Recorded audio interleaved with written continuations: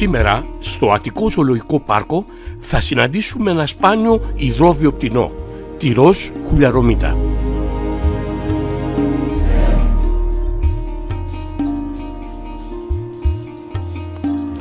Είναι ένα μεγάλο, πελαργόμορφο πτηνό με ύψος 86 εκατοστά και άνοιγμα φτερών 1 μέτρο και 30.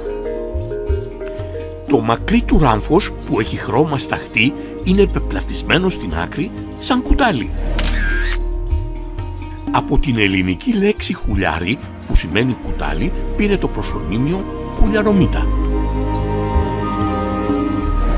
Η ροζ χουλιαρομήτα είναι το πιο σπάνιο από τα έξι υποείδη χουλιαρομήτας που υπάρχουν στον κόσμο.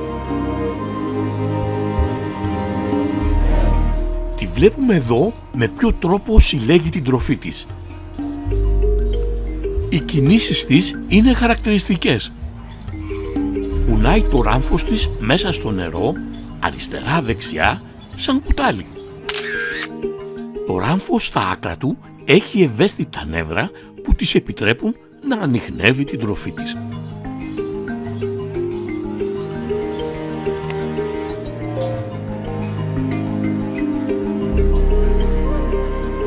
Η διατροφή της αποτελείται από μικρά ψαράκια, από διάφορα οστρακόδερμα, υδρόβια φυτά, αλλά και έντομα.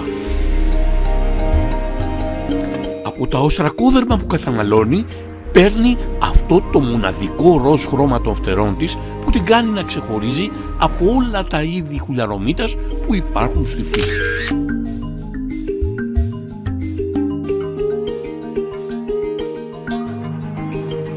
Φυσικό της περιβάλλον είναι οι ελώδεις περιοχές αλλά και τα μαγκρόβια δάση στις θαλάσσιες ακτές και στις εκβολές των ποταμών που βρίσκονται γύρω από τον κόλπο του Μεξικού στην Καραϊβική και την Νότιο Αμερική.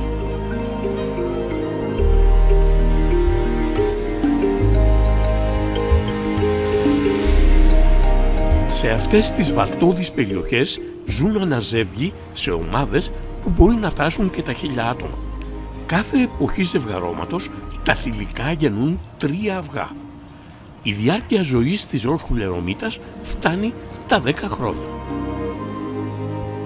Ο πληθυσμός της, σύμφωνα με τη Διεθνή Ένωση Προστασίας της Φύσης, είναι προς το παρόν σταθερός.